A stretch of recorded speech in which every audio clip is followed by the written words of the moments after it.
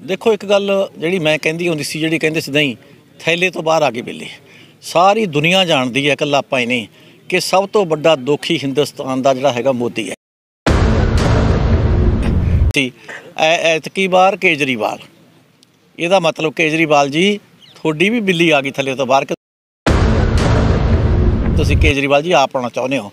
ਮੈਂ ਤਾਂ ਕਿਤੇ ਨਹੀਂ ਲਿਖਿਆ, ਦੇਖਿਆ ਵੀ ਇੱਕ ਵਾਰ ਭਗਵੰਤ ਮਾਨ ਪਿੰਡਾਂ ਦੇ ਲੋਕ ਮੋਦੀ ਪੁੱਠਾ ਹੋ ਕੇ ਲੰਕ ਜਾਵੇ ਸੋਨੇ ਦਾ ਬਣ ਕੇ ਆ ਜਾਵੇ ਨਾ ਮੂੰਹ ਲਾਉਣਗੇ ਮੋਦੀ ਨੂੰ ਨਾ ਮੋਦੀ ਨਾਲ ਹੱਥ ਬੁਲਾਉਣ ਵਾਲੀਆਂ ਦੋਨੇ ਪਾਰਟੀਆਂ ਜਿਵੇਂ ਕੈਪਟਨ ਅਮਰਿੰਦਰ ਸਿੰਘ ਜਾਂ ਢੀਂਡ ਸਾਹਿਬ ਦੀਆਂ ਇਹਨਾਂ ਨੂੰ ਲੋਕ ਪਿੰਡਾਂ 'ਚ ਨਹੀਂ ਵੜਨ ਦਿੰਦਾ ਜਾਂ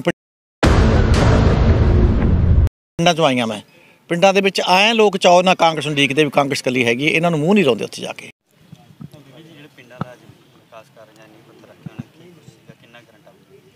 ਦੇਖੋ ਸਾਰਿਆਂ ਨੂੰ ਪਤਾ ਹੈ 8-10 ਦਿਨ ਪਹਿਲਾਂ ਹੀ ਟੱਕਰਾਂ ਟੁੱਕਰਾਂ ਮਾਰ ਕੇ ਮੈਂ ਗਰੰਟਾਂ ਮੰਗ ਕੇ ਲਿਆਈਆਂ। ਬਹੁਤ ਸਾਰੇ ਤਾਂ 4-5 ਸਾਲਾਂ ਜਿਹੜੇ ਐਮਐਲਏ ਵਜੀਰ ਸਿੰਘ ਤਾਂ ਮਿਲਦੀਆਂ ਰਹੀਆਂ, ਉਹ ਤਾਂ ਦੇ ਹੀ ਗਏ ਨਾਲ ਦੀ ਨਾਲ। ਜਿੱਥੇ ਅਸੀਂ ਨਹੀਂ ਸੀਗੇ, ਸਾਨੂੰ ਨਹੀਂ ਸੀ ਮਿਲੀਆਂ। 10-15 ਦਿਨਾਂ ਤੋਂ ਚੰਨੀ ਜੀ ਆਏ ਨੇ, ਇਹਨਾਂ ਨੇ ਮੈਨੂੰ ਕੁਝ ਪੈਸੇ ਦਿੱਤੇ ਨੇ। ਟੋਟਲ ਹਲਕੇ ਦੇ ਵਾਸਤੇ ਜਿਹਦੇ 76 ਪਿੰਡ ਪੈਂਦੇ ਆ, ਤਿੰਨ ਮੰਡੀਆਂ ਪੈਂਦੀਆਂ। ਉਹਨਾਂ ਵਾਸਤੇ ਮੈਂ 15-7 22 ਕਰੋੜ ਰੁਪਈਆ ਸਾਰੇ ਹਲਕੇ ਵਾਸਤੇ ਲੈ ਕੇ ਆਈਆਂ। ਜਿਹਦੇ ਵਿੱਚੋਂ 6 ਕਰੋੜ ਸਮਥਿੰਗ ਕੱਲਾ ਕੱਲਾ ਲਹਿਰੇ ਵਾਸਤੇ 3-3 ਕਰੋੜ ਦੂਜੀਆਂ ਮੂਨਕ ਤੇ ਖਨੌਰੀ ਵਾਸਤੇ ਸੋ ਇੱਥੇ ਅਸੀਂ 6 ਕਰੋੜ ਤੇ 6 ਕਰੋੜ 12 ਕਰੋੜ ਤਾਂ ਇਹੀ ਹੋ ਗਿਆ 22 ਦੇ ਵਿੱਚੋਂ। ਬਾਕੀ ਸਾਰਾ ਪਿੰਡਾਂ ਦੇ ਵਾਸਤੇ ਲੈ ਕੇ ਆਏ ਆ ਵੱਖੋ ਵੱਖਰੇ ਕੰਮਾਂ ਲਈ। ਜਿਹਦੇ 'ਚ ਅਸੀਂ ਕੋਈ ਧਰਮ ਸਥਾਨ ਹੈ ਕੋਈ ਹੈਲਥ ਦਾ ਹੈ ਕੋਈ ਸਕੂਲ ਦਾ ਹੈ ਕੋਈ ਆਪਣੇ ਵੱਖਰੇ ਬਾਰ ਕੋਈ ਮੁਹੰਮਦਨ ਨੇ ਬਾਜੀਗਰ ਨੇ ਹੋਰ ਹੈ, ਸਾਰਿਆਂ ਲਈ ਜਿੱਥੇ ਕਿਤੇ ਕੋਈ ਨਾ ਜ਼ਰੂਰਤਾਂ ਸੀਗੀਆਂ ਉਸ ਮੁਤਾਬਕ ਪਿੰਡ ਦਿਆਂ ਦੀਆਂ ਲੋੜਾਂ ਨੂੰ ਸਮਝਦੇ ਹੋਏ ਅਸੀਂ ਆਦਾ ਪੈਸਾ ਪ੍ਰੋਵਾਈਡ ਕੀਤਾ ਹੈਗਾ। ਇਹਦੇ 'ਚ ਮੈਂ ਨਹੀਂ ਸਮਝਦੀ ਕਿ ਐਦੂ ਪਹਿਲਾਂ ਮੈਨੂੰ ਲੱਗਦਾ ਨਹੀਂ ਹੈ ਕਿ ਐਦੂ ਪਹਿਲਾਂ ਤੁਹਾਡੇ ਸਾਹਮਣੇ 10 ਸਾਲ ਅਕਾਲੀ ਦਲ ਦਾ ਰਾਜ ਰਿਹਾ ਔਰ ਕੱਲਾ ਰਾਜ ਰਹਿਣਾ ਹੋਰ ਗੱਲ ਹੁੰਦੀ ਹੈ। ਇੱਕ ਖਜ਼ਾਨੇ ਦਾ ਮੰਤਰੀ ਹੋਣਾ ਚਾਬੀ ਕੋਲੇ ਹੋਣੀ, ਇੱਕ ਮੈਂਬਰ ਪਾਰਲੀਮੈਂਟ ਦਾ ਪੁੱਤ ਹੋਣਾ, ਮੈਂਬਰ ਪਾਰਲੀਮੈਂਟ ਨੂੰ 1 ਸਾਲ ਦਾ 5 ਕਰੋੜ ਮਿਲਦਾ ਹੈ। 5 ਸਾਲਾਂ ਦਾ 25 ਕਰੋੜ। 25 ਕਰੋੜ ਉਹ ਵੱਡੇ ਢੀਂਡਸਾ ਸਾਹਿਬ ਨੂੰ ਮਿਲਦਾ ਸੀਗਾ, ਇੱਕ ਸਾ, ਇੱਕ ਟਰਮ ਦਾ। ਤਿੰਨ ਟਰਮਾਂ 'ਚ ਕਿੰਨਾ ਹੋਇਆ? 25 25 75 ਜਾਂ ਕਿੰਨਾ? 100 ਹਿਸਾਬ ਕਿਤਾਬ ਆਉਂਦਾ ਨਹੀਂ 100 ਕਰੋੜ ਦੇ ਨੇੜੇ ਤਾਂ ਉਹ ਪਹੁੰਚ ਗਿਆ। ਤੇ ਐਵੇਂ ਜਿਵੇਂ ਇੱਥੋਂ ਦਾ ਸੀ ਸਾਰਾ ਇਹਨਾਂ ਕੋਲੇ। ਉਹਦੇ ਬਾਵਜੂਦ ਜਿਵੇਂ ਮੈਂ ਕਹਿੰਨੀ ਆ ਕਿ ਕਹਿ ਦਿੰਦੇ ਕੀਤਾ ਮੈਂ ਆਪਦਾ ਗਣਿਆਉਂਦੀ ਨਹੀਂ ਹਾਂ ਕਦੇ। ਅਸੀਂ ਜਿਸ ਤਰੀਕੇ ਨਾਲ ਵੱਡੇ ਸੱਤ ਪੁਲ ਬਣਾਏ, ਜਿਸ ਤਰੀਕੇ ਨਾਲ ਇੰਜੀਨੀਅਰਿੰਗ ਕਾਲਜ ਲਿਆਂਦਾ, ਜਿਸ ਤਰੀਕੇ ਨਾਲ ਅਸੀਂ ਜਿਹੜਾ ਹੈਗਾ ਸੀ ਬੱਸ ਅੱਡਾ, ਇਹਨੂੰ ਅਸੀਂ ਬਣਾਤਾ ਸੀਗਾ ਜਿਹੜੀ ਉਹ ਕਹਿੰਦੇ ਹੁੰਦੇ ਨੇ ਆਪਣਾ, ਡੀਪੂ ਬਣਾਤਾ ਸੀਗਾ 1 ਕਰੋੜ 30 ਲੱਖ ਦਿੱਤਾ ਸੀਗਾ। ਦੇਲਾ ਅਸੀਂ ਯੂਨੀਵਰਸਿਟੀ ਕੈਂਪਸ ਬਣਾਤਾ ਸੀ 1 ਕਰੋੜ 30 ਲੱਖ ਮੈਂ ਉੱਥੇ ਦਿੱਤਾ ਸੀਗਾ। ਜਿਹੜਾ ਸਾਡਾ ਚੂਲੜ ਸੀਗਾ, ਉਸ ਵੇਲੇ ਜਦੋਂ ਮੈਂ ਸੀ, ਉਸ ਵੇਲੇ ਵੀ ਉਹ ਦੇਸ਼ ਭਗਤਾਂ ਨੂੰ ਯਾਦ ਕਰਨ ਵਾਸਤੇ, ਚੂਲੜ ਪਿੰਡ ਵਾਸਤੇ ਵੀ ਅਸੀਂ 1 ਕਰੋੜ ਦਿੱਤਾ ਸੀਗਾ। ਇਸੇ ਤਰੀਕੇ ਨਾਲ ਦਾਣਾ ਮੰਡੀ ਅਸੀਂ ਬਣਾਈ, ਤੇ ਇਸ ਤਰ੍ਹਾਂ ਨਾਲ ਸਾਰਾ ਕੁਝ ਜਿੰਨੇ ਸੀਗੇ ਕਿ ਚਾਹੇ ਕਾਲਜ ਨੇ, ਚਾਹੇ ਸੱਤ ਪੁਲ ਬਣਾਏ, ਮੈਂ ਕਹਿੰਦੀ ਦੱਸਣ ਢੀਂਡਸਾ ਸਾਹਿਬ, ਇੱਕ ਪੁਲ ਬਣਾਇਆ ਕਿਤੇ? ਆ ਸਾਡੇ ਇੰਸਟੀਚਿਊਸ਼ਨ ਬਣਾਏ ਨੇ, ਉਹ ਕਿਸੇ ਥਾਂ ਤੇ ਮੈਂ ਜੇ 8-10 ਬਣਾਤੇ ਹੈਲਥ ਦੇ ਐਜੂਕੇਸ਼ਨ ਦੇ ਡਿਗਰੀ ਕਾਲਜ ਬਣਾਤਾ, ਉਹ ਬਣਾਏ ਨੇ। ਅੱਜ ਮੈਂ ਕਿਤਾਂ ਤੇ ਅਖਬਾਰ 'ਚ ਪੜ੍ਹਦੀ ਸੀ, ਜੇ ਮੈਂ ਜਿੱਤਿਆ ਹੁਣ ਡਿਗਰੀ ਕਾਲਜ ਬਣਾਉਂਗਾ। ਤੂੰ ਜਿੱਤ ਕੇ ਦੋ ਵਾਰ ਮਿਨਿਸਟਰ ਰਿਹਾ ਪਰ ਡਿਗਰੀ ਕਾਲਜ ਹੁਣ ਬਣਾਏਗਾ ਸਾਨੂੰ ਲੋੜ ਨਹੀਂ ਸੀ ਬਣਾ ਰਿਹਾ ਬੜੀਆਂ ਗਰੰਟਾਂ ਦਿੱਤੀਆਂ ਸੀਗੀਆਂ ਪਰ ਉਸ ਤੋਂ ਬਾਅਦ ਕੰਮ ਸ਼ੁਰੂ ਨਹੀਂ ਹੋਇਆ। ਅਕਾਲੀ ਦਲ ਸਰਕਾਰ ਕਰਕੇ ਹੋਇਆ ਸਰ ਰੋਕਤਾ ਉਹਨਾਂ ਨੇ। ਮੈਂ ਜਿਵੇਂ ਦੱਸਿਆ ਤੁਹਾਡਾ ਕਾਲਜ ਬੰਦ ਨਹੀਂ ਪਿਆ। ਮੈਂ ਤਾਂ ਚਲਾ ਕੇ ਗਈਆਂ ਤਿੰਨ ਸਟੇਟਾਂ ਦੇ ਇੱਥੇ ਬੱਚੇ ਆਉਂਦੇ ਸੀ। ਸਾਡੇ ਮੰਡੀ ਦਾ ਕੰਮ ਵੱਧਦਾ ਸੀ ਰੁਜ਼ਗਾਰ ਵੱਧਦਾ ਸੀ। ਕੋਈ ਉੱਥੇ ਰਹਿ- ਰਹਿਣ ਵਾਸਤੇ ਰਹਿੰਦੇ ਸੀਗੇ ਖਾਂਦੇ ਸੀ ਪੀਂਦੇ ਸੀ ਖਾਉਂਦੇ ਸੀ। ਉਹ ਸਾਰਾ ਬੰਦ ਕਰਕੇ ਨਿੱਕੇ ਨਿੱਕੇ ਪ੍ਰਾਈਵੇਟ ਬਾਹਰ ਬਣਾ ਕੇ ਉਹਨਾਂ ਨੇ ਹੋਰ ਇੰਸਟੀਚਿਊਸ਼ਨ ਇੱਥੋਂ ਐਡਮਿਸ਼ਨਾਂ ਬਾਹਰ ਕਰਾਤੀਆਂ ਬੰਦ ਕਰਤਾ। ਅੱਜ ਉਹਦਾ ਕੇਸ ਮੈਂ ਲੰਕਦੀ ਰਹੀਆਂ ਮੈਂ ਤਾਂ ਲਿਆਂਦੀਗਾ ਮੇਰੇ ਲਿਆਂਦੇ ਕੰਮਾਂ ਨੂੰ ਉਹਨਾਂ ਨੇ ਬੰਦ ਕਰਾਉਣ ਤੇ ਜ਼ੋਰ ਲਾਇਆ ਜਿਹਦੇ ਕਰਕੇ ਸਾਨੂੰ ਨੁਕਸਾਨ ਹੋਇਆ। ਮੈਂ ਤਾਕਤ 'ਚ ਨਹੀਂ ਸੀਗੀ ਮੈਂ ਸਰਕਾਰ 'ਚ ਨਹੀਂ ਸੀ ਮੈਂ ਆਪਣੇ ਇੱਥੇ ਨਹੀਂ ਸੀ ਕਿਉਂਕਿ ਸਾਡੇ ਅੰਦਰ ਵੀ ਜਿਹੜੀ ਘੁਸਪੈਠ ਸੀ ਉਹ ਅਕਾਲੀ ਦਲ ਦੇ ਨਾਲ ਹੱਥ ਮਿਲਾਉਣ ਵਾਲੇ ਲੋਕਾਂ ਦੀ ਸੀ। ਮੋਦੀ ਸਰ ਮੋਦੀ ਆਪ ਪੰਜਾਬ ਦਾ ਦੌਰਾ ਕਰਨਗੇ ਤੇ ਚੰਡੀਗੜ੍ਹ ਆਉਣਗੇ। 117 ਸੀਟਾਂ ਲੜਨ ਦਾ ਐਲਾਨ ਕੀਤਾ ਹੈ। ਸੁਖਦੇਵ ਸਿੰਘ ਢੀਂਡਸਾ ਦੇ ਕੈਪਟਨ ਵੀ ਨਾਲ ਜਾ ਰਹੇ? ਦੇਖੋ ਇੱਕ ਗੱਲ ਜਿਹੜੀ ਮੈਂ ਕਹਿੰਦੀ ਹੁੰਦੀ ਸੀ ਜਿਹੜੀ ਕਹਿੰਦੇ ਸੀ ਨਹੀਂ ਥੈਲੇ ਤੋਂ ਬਾਹਰ ਆ ਗਏ ਬਿੱਲੇ ਸਾਰੀ ਦੁਨੀਆ ਜਾਣਦੀ ਹੈ ਇਕੱਲਾ ਆਪਾਂ ਹੀ ਨਹੀਂ। ਕਿ ਸਭ ਤੋਂ ਵੱਡਾ ਦੋਖੀ ਹਿੰਦੁਸਤਾਨ ਦਾ ਜਿਹੜਾ ਹੈਗਾ ਮੋਦੀ ਹੈ। ਪਹਿਲਾਂ ਨੋਟਬੰਦੀ 'ਚ ਆਪਦੇ ਪੈਸੇ ਲੈਣ ਲਈ ਅਸੀਂ ਲੈਣਾ 'ਚ ਲੱਗੇ ਰਹੇ। ਕਿਸ ਤਰੀਕੇ ਨਾਲ ਸਾਰਾ ਪੈਸਾ ਬੈਂਕਾਂ 'ਚ ਰੱਖ ਕੇ ਕਿਹੜੀਆਂ ਵੱਡੀਆਂ ਵੱਡੀਆਂ ਕੰਪਨੀਆਂ ਸੀਆਂ, ਉਹਨਾਂ ਨੂੰ ਪੈਸਾ ਵਾਈਟ ਕਰਨ ਵਾਸਤੇ ਤੇ ਕੱਢਣ ਲਈ ਕੀਤਾ ਗਿਆ, ਧੋਖਾ ਮਾਰਿਆ। ਜੀਐਸਟੀ ਧੋਖਾ ਕੀਤਾ। ਹੁਣ ਸਾਡੇ ਆ ਜਿਹੜੇ ਹੈਗੇ ਜ਼ਮੀਨਾਂ, ਜਿਹਦੇ ਤੇ ਅਸੀਂ ਸਾਰੇ ਆੜਤੀਆ, ਟਰੱਕ ਯੂਨੀਅਨ, ਮਜ਼ਦੂਰ ਯੂਨੀਅਨ, ਦੁਕਾਨਦਾਰ, ਜੇ ਪੈਸੇ ਤਾਂ ਹੀ ਖਰਚਾਂਗੇ ਨਾ, ਉਹਦੇ ਤੇ ਕਾਲੇ ਕਾਨੂੰਨ ਬਣਾਤੇ।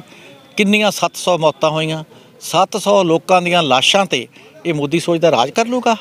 ਔਰ ਜਿਹੜੇ ਮੋਦੀ ਦੇ ਨਾਲ ਹੱਥ ਮਿਲਾ ਰਹੇ ਨੇ, ਅੰਦਰੋਂ ਗਤੀ ਇਹ ਫਵਾਹਾਂ ਆ ਰਹੀਆਂ ਹੈ ਕਿ ਇਹਨਾਂ ਨੇ ਜਾਣ ਕੇ ਲਮਕਾਇਆ ਸੀ ਕਿ ਵੋਟਾਂ ਦੇ ਨੇੜੇ ਜਾ ਕੇ ਕਰਿਓ, ਫਿਰ ਆਪਣਾ ਵੋਟਾਂ ਲੈ ਲਾਂਗੇ। ਜਿਹੜੇ ਲੋਕ ਸਿਆਸਤ ਲਾਸ਼ਾਂ ਚੋਂ ਸਿਆਸਤ ਕੱਢਦੇ ਆ ਤੇ ਰੱਬ ਉਹਨੂੰ ਜ਼ਰੂਰ ਸਜ਼ਾ ਦੇਊਗਾ। ਪਿੰਡਾਂ ਦੇ ਲੋਕ ਮੋਦੀ ਪੁੱਠਾ ਹੋ ਕੇ ਲੰਕ ਜਾਵੇ, ਸੋਨੇ ਦਾ ਬਣ ਕੇ ਆ ਜਾਵੇ, ਨਾ ਮੂੰਹ ਲਾਉਣਗੇ ਮੋਦੀ ਨੂੰ, ਨਾ ਮੋਦੀ ਨਾਲ ਹੱਥ ਬੁਲਾਉਣ ਵਾਲੀਆਂ ਦੋਨੇ ਪਾਰਟੀਆਂ, ਜਿਵੇਂ ਕੈਪਟਨ ਅਮਰਿੰਦਰ ਸਿੰਘ ਜਾਂ ਢੀਂਡ ਸਾਹਿਬ ਦੀਆਂ ਇਹਨਾਂ ਲੋਕ ਪਿੰਡਾਂ 'ਚ ਨਹੀਂ ਵੜਨ ਦਿੰਦਾ ਜਾਂ ਪਿੰਡਾਂ 'ਚੋਂ ਆਈਆਂ ਮੈਂ। ਪਿੰਡਾਂ ਦੇ ਵਿੱਚ ਆਏ ਲੋਕ ਚਾਹੋ ਨਾ ਕਾਂਗਰਸ ਨੂੰ ਡੀਕਦੇ ਵੀ ਕਾਂਗਰਸ ਕੱਲੀ ਹੈਗੀ ਇਹਨਾਂ ਨੂੰ ਮੂੰਹ ਨਹੀਂ ਲਾਉਂਦੇ ਉੱਥੇ ਜਾ ਕੇ। ਅਰਵਿੰਦ ਕੇਜਰੀਵਾਲ ਲਗਾਤਾਰ ਗਰੰਟੀਆਂ ਦੇ ਰਹੇ ਨੇ ਸੁਰੱਖਿਆ ਨੂੰ ਲੈ ਕੇ ਵੀ ਹੁਣ ਪਿੱਛੇ ਜੇ ਗਰੰਟੀ ਦਿੱਤੀ ਹੈ। ਕਿਸ ਤਰ੍ਹਾਂ ਦੇਖ ਰਹੇ ਹੋ ਕਿ ਪਹਿਲਾਂ ਵੀ ਔਰਤਾਂ ਲਈ ਹਜ਼ਾਰ ਹਜ਼ਾਰ ਰੁਪਏ ਦਾ ਐਲਾਨ ਕੀਤਾ? ਹੁਣ ਕੇਜਰੀਵਾਲ ਦੀ ਜਿਹਦੀ ਗਾਰੰਟੀ ਤੇ ਕੌਣ ਯਕੀਨ ਕਰੂਗਾ? ਇਹਨਾਂ ਤਾਂ ਇਹ ਵੀ ਗਾਰੰਟੀ ਦਿੱਤੀ ਸੀ ਅੰਨਾ ਹਜ਼ਾਰੇ ਇੱਕ ਦੇਸ਼ ਭਗਤ ਦੇ ਕੋਲ ਝੰਡਾ ਹਿਲਾ ਕੇ ਕਿ ਪਹਿਲੀ ਗੱਲ ਤਾਂ ਮੈਂ ਆਉਂਦਾ ਨਹੀਂ ਸਿਆਸਤ 'ਚ। ਜੇ ਮੈਂ ਆਇਆ ਇੱਕ ਪਰਪਸ ਲਈ ਆਉਂਗਾ ਕਿ ਮੈਂ ਲੋਕਪਾਲ ਬਣਾਉਂਗਾ ਉਹ ਕਿੱਥੇ ਕੀ ਗਾਰੰਟੀ ਕਿ ਇਹਨਾਂ ਦੀ ਕੇਜਰੀਵਾਲ ਜੀ ਦੀ? ਫਿਰ ਇਹਨਾਂ ਕਿ ਸਿਕਿਉਰਿਟੀ ਨਹੀਂ ਲੈਣੀ ਕੋਠੀ ਨਹੀਂ ਲੈਣੀ ਕਿੱਥੇ ਕੀ ਗਾਰੰਟੀ ਇਹਨਾਂ ਦੀ? ਇਹ ਗਰੰਟੀਆਂ ਅੱਜ ਦੇਣੀਆਂ ਇਸ ਕਰਕੇ ਪੈ ਰਹੀਆਂ ਨੇ, ਜਿਹੜੀਆਂ ਤੁਸੀਂ ਗਰੰਟੀਆਂ ਇੱਥੇ ਦਿੰਦੇ ਫਿਰਦੇ ਹੋ। ਪਹਿਲਾਂ ਉੱਥੇ ਦਿੱਲੀ 'ਚ ਲਾਗੂ ਤਾਂ ਕਰਕੇ ਉਹ ਸਰਕਾਰ ਤਾਂ ਤੁਹਾਡੀ ਹੈ। ਇਹ ਔਰਤਾਂ ਨੂੰ ਕਹਿੰਦੇ ਹਜ਼ਾਰ ਹਜ਼ਾਰ ਦੇਵਾਂਗਾ ਮੈਂ। ਲੈ ਮੈਨੂੰ ਦਿੱਲੀ ਦਾ ਇੱਕ ਕੇਸ ਦਿਖਾ ਦੇਣ, ਜਿੱਥੇ ਕਿਸੇ ਬੀਬੀ ਨੂੰ 1000 ਦਿੱਤਾ ਹੋਵੇ। ਇੱਥੇ ਸਿੱਖਾਂ ਦੀ ਗੱਲ ਕਰਦੇ ਆ, ਮੈਨੂੰ ਸਿੱਖਾਂ ਦਾ ਭਾਈਚਾਰਾ ਨਾਲ ਪਿਆਰ ਹੈ। ਇੱਕ ਦੱਸ ਦੇਣ ਕਿ ਸਾਰੀ ਕੈਬਨਿਟ ਦੇ ਵਿੱਚ ਕੋਈ ਇੱਕ ਔਰਤ ਬਣਾਈ ਹੋਵੇ ਵਜ਼ੀਰ, ਕੋਈ ਇੱਕ ਸਿੱਖ ਬਣਾਇਆ ਹੋਵੇ ਵਜ਼ੀਰ।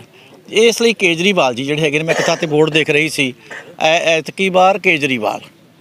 ਇਹਦਾ ਮਤਲਬ ਕੇਜਰੀਵਾਲ ਜੀ ਤੁਹਾਡੀ ਵੀ ਬਿੱਲੀ ਆ ਗਈ ਥੱਲੇ ਤੋਂ ਬਾਹਰ ਕਿ ਤੁਸੀਂ ਕੇਜਰੀਵਾਲ ਜੀ ਆਪ ਆਉਣਾ ਚਾਹੁੰਦੇ ਹੋ? ਮੈਂ ਤਾਂ ਕਿਤੇ ਨਹੀਂ ਲਿਖਿਆ, ਦੇਖਿਆ ਵੀ ਇੱਕ ਵਾਰ ਭਗਵੰਤ ਮਾਨ। ਮੈਂ ਤਾਂ ਕਿਤੇ ਨਹੀਂ ਲਿਖਿਆ, ਦੇਖਿਆ ਕਿ ਕੋਈ ਪੰਜਾਬ ਦਾ ਹੋਰ ਹੋਵੇ। ਕੱਲਾ ਮੈਂ ਨਹੀਂ ਕਹਿੰਦੀ ਕਿ ਭਗਵੰਤ ਜੀ ਆਪਣਾ ਪਾਰਟੀ ਦਾ ਫੈਸਲਾ ਹੁੰਦਾ ਉਹਦੀ ਦਾ। ਕਿਸੇ ਥਾਂ ਤੇ ਕਿਸੇ ਪੰਜਾਬੀ ਦਾ ਨਾਂ ਲਿਖਿਆ ਵੀ ਫਲਾਣੇ ਹੁੰਦੇ ਹੋ, ਐਸ ਵਾਰ ਕੇਜਰੀਵਾਲ। ਦਿੱਲੀ 'ਚ ਬੈਠੇ ਹੋ, ਬੈਠੇ ਰਹੋ, ਇੱਥੇ ਕੀ ਕਰਨਾ ਤੁਸੀਂ? ਲੋਕ ਵਿਸ਼ਵਾਸ ਨਹੀਂ ਕਰਦੇ ਕੇਜਰੀਵਾਲ ਜੀ ਤੇ, ਕਿਉਂਕਿ ਜਿੰਨੀਆਂ ਇਹਨੇ ਹਸਪਤਾਲਾਂ ਦੀ ਗੱਲ ਕਰਦੇ ਆ, ਸਕੂਲਾਂ ਦੀ ਗੱਲ ਕਰਦੇ ਆ, ਇੱਕ ਵੀ ਮੁਲਾਜ਼ਮ ਅਜੇ ਤੱਕ ਇਹਨੇ ਪੱਕਾ ਨਹੀਂ ਕੀਤਾ। ਸਾਰੇ ਹਸਪਤਾਲਾਂ ਦਵਾਈਆਂ ਦਾ ਮਾੜਾ ਹਾਲ ਹੈ। ਕਿਵੇਂ ਸਾਰਿਆਂ ਥਾਵਾਂ ਤੇ ਵਾਸਤੇ ਪਾਉਂਦੇ ਸੀਗੇ ਕਿ ਆ ਕਰੋਨਾ ਦੇ ਵਿੱਚ ਹੋ ਗਿਆ, ਕਿੰਨੇ ਮਰੀਜ਼ਾਂ ਦਾ ਡੈਥ ਹੋਈ, ਸਭ ਕੁਝ ਕਿੱਥੇ ਗਿਆ ਇਹਨਾਂ ਦਾ ਇੰਤਜ਼ਾਮ? ਇਹਨਾਂ ਦੀ ਗਰੰਟੀਆਂ ਤੇ ਕੋਈ ਯਕੀਨ ਨਹੀਂ ਕਰਦਾ। ਇਹਨਾਂ ਤੇ ਯਕੀਨ ਨਹੀਂ ਪਹਿਲਾਂ ਤਾਂ ਅਸੀਂ ਸਾਰਿਆਂ ਨੇ ਇਹੀ ਕਿਹਾ ਕਿ ਆਹੀ ਗਰੰਟੀ ਦੇ ਦਿਓ ਕਿ ਤੁਹਾਡਾ ਬੰਦਾ ਭੱਜੂਗਾ ਨਹੀਂ ਹੁਣ ਕੋਈ। ਇਹ ਦੱਸ ਦਿਓ। ਇਸ ਲਈ ਗਰੰਟੀ ਦੇਣਾ ਤਾਂ ਜਵਾਨ ਨਾਲ ਕਹਿਣਾ ਬਹੁਤ ਹੈ, ਗਰੰਟੀ ਅੰਨਾ ਹਜ਼ਾਰ ਵਾਲੀ ਪੂਰੀ ਨਹੀਂ ਹੋਈ ਤੇ ਇਹ ਕਿੱਥੋਂ ਪੂਰੀ ਹੋਣੀ ਹੈ, ਲੋਕ ਨਹੀਂ ਵਿਸ਼ਵਾਸ ਕਰਦੇ ਇੱਕ ਲਹਿਰੇ ਹਸਪੀਟਲ ਦੀ ਗੱਲ ਕਰੀਏ ਤੇ ਸਪੈਸ਼ਲਿਸਟ ਡਾਕਟਰ ਨਹੀਂ ਹੈਗੇ ਦੇਖੋ, ਅਜੇ ਤਾਂ ਜਿਹੜੇ ਹੁੰਦੇ ਡਾਕਟਰ ਸਪੈਸ਼ਲਿਸਟ ਤਾਂ ਹੁੰਦਾ ਹੈ, ਜੇ ਉੱਥੇ ਪਹਿਲਾਂ ਉਹਨੂੰ ਲੱਗੇ ਕਿ ਮੇਰੇ ਕੋਲ ਮਸ਼ੀਨਰੀ ਹੈ, ਚੀਜ਼ਾਂ ਹੈ। ਜਿਹੜੀ ਮੈਂ ਗੱਲ ਦੱਸੀ, ਅੱਜ ਵੀ ਮੈਂ ਨਹੀਂ ਕਹਿੰਦੀ ਇਕੱਲਾ ਰਿਕਾਰਡ ਵਿਧਾਨ ਸਭਾ ਚ ਗਵਾਹ ਹੈ। ਮਿਨਿਸਟਰ ਤਾਂ ਮੈਂ ਇੱਕ ਟਰਮ ਹੀ ਬਣੀ ਨਾ 2002 ਤੋਂ 2007 ਤੱਕ। ਮੁੜ ਕੇ 10 ਸਾਲ ਤੱਕ ਕਾਲੀ ਰਹੇ। ਐਮਐਲਏ ਸੀ ਮੈਂ। ਵਿਧਾਨ ਸਭਾ 'ਚ ਮੈਂ ਹਰ ਵਾਰ ਧਰਨਾ ਸਾਡੇ ਇੱਥੇ ਮੇਰੇ ਬੇਟਾ ਨੂੰ ਦੇ ਰਹੇ ਸੀ, ਅਸੀਂ ਉੱਥੇ ਮੰਗ ਕਰਦੇ ਸੀਗੇ। ਜਦੋਂ ਤੁਹਾਡੀਆਂ ਸੁਵਿਧਾਵਾਂ ਪੂਰੀਆਂ ਨਹੀਂ, ਇੱਥੇ ਕੌਣ ਡਾਕਟਰ ਆਉਣਾ ਚਾਹੂਗਾ? ਅੱਜ ਮੈਂ ਧੰਨਵਾਦ ਕਰਦੀ ਹਾਂ। ਇਹਨਾਂ ਦਾ ਆਪਣੇ ਚੰਨੀ ਜੀ, ਉਹਨਾਂ ਦਾ, ਪੰਜਾਬ ਦੀ ਕਾਂਗਰਸ ਸਰਕਾਰ ਦਾ, ਕਿ ਸਾਨੂੰ ਜਿੱਥੇ ਦਰਜਾ ਦਿੱਤਾ, ਕਿ ਦਰਜਾ ਦੇਣ ਦੇ ਨਾਲ ਬਾਕੀ ਸਹੂਲਤਾਂ ਆਉਂਦੀਆਂ ਨੇਗੀਆਂ। ਅੱਜ ਕਿਵੇਂ ਮਗਰ ਫਿਰ ਕੇ ਅਸੀਂ ਸਾਰਾ ਇੱਕ ਸਬ ਡਿਵੀਜ਼ਨ ਦਰਜਾ ਦਵਾਇਆ, ਪਲੱਸ ਅਸੀਂ ਇਹ ਗ੍ਰਾਂਟ ਲੈ ਕੇ ਆਏ ਹਾਂ। ਇਹਦੇ ਨਾਲ ਜੋ ਸਾਰੀਆਂ ਚੀਜ਼ਾਂ ਸੁਵਿਧਾਵਾਂ ਪੂਰੀਆਂ ਹੋਣੀਆਂ, ਤੇ ਡਾਕਟਰ ਵੀ ਆਉਣਗੇ, ਦੂਜੇ ਵੀ ਆਉਣਗੇ, ਸਪੈਸ਼ਲਿਸਟ ਵੀ ਆਉਣਗੇ, ਇਹਨੂੰ ਬਹੁਤ ਵਧੀਆ ਬਣਾਉਣਾ ਚਾਹੁੰਦੀ ਹਾਂ, ਬਣਾਵਾਂਗੇ ਅਸੀਂ।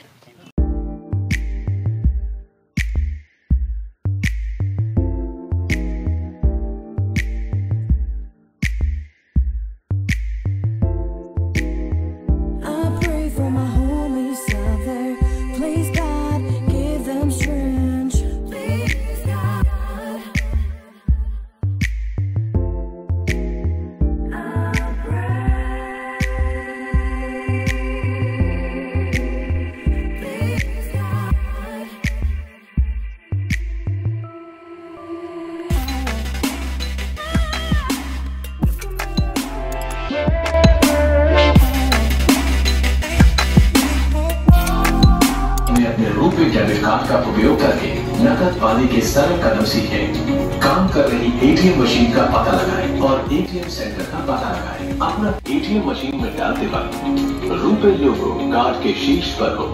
और यदि आप अपना कार्ड फ्लिप करते हो, करने के लिए स्क्रीन विकल्पों की श्रृंखला प्रदर्शित करेगा यदि आप नकद निकालना चाहते हैं तो नकदी निकालने के विकल्प का दबाएँ। फिर एटीएम मशीन आपको लेन देन पर्ची की हार्ड कॉपी के लिए पूछेगी। अपनी इच्छा के अनुसार हाँ या ना का को चुनना होगा बाहर निकलने के लिए बाहर निकले दबाएं और अगर ये एक मोटराइज्ड कार स्लॉट है